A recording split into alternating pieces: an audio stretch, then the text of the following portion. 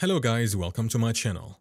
In this video, I'm gonna show you how to fix avoid interruptions to your subscription and purchases verify your payment information on iOS. It is a fast and easy tutorial. To fix this, open the Settings app on your iPhone. This is the central hub for controlling various device settings. Here tap on your name at the top of the settings menu. Now select Payment and Shipping.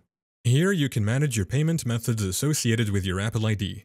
Review your current payment method Ensure the expiration date is valid and there are sufficient funds available. If the information is outdated, update it with a valid credit or debit card. Still within the Settings app, navigate back to your Apple ID menu. Now select Media and Purchases. This section controls settings related to your purchases on the App Store, iTunes Store, and Apple Books. Next tap on View Account. Here look for the option labeled Purchase History. Tap on it to view your recent purchases.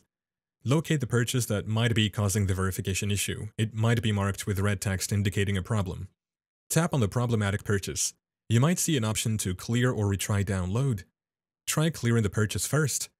This might resolve the issue and allow you to re-download the content with the updated payment information. Thank you for watching. If this video was helpful, please leave a like and subscribe to my channel for more videos like this. And click on that notification bell to never miss an update.